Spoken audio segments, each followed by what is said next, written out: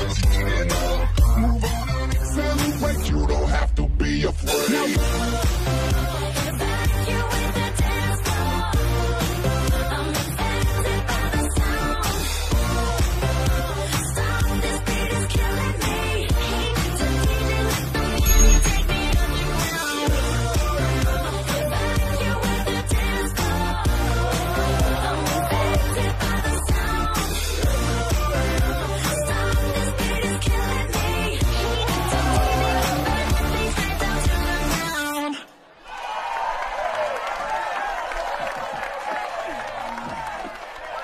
Another win for your girl Amelia.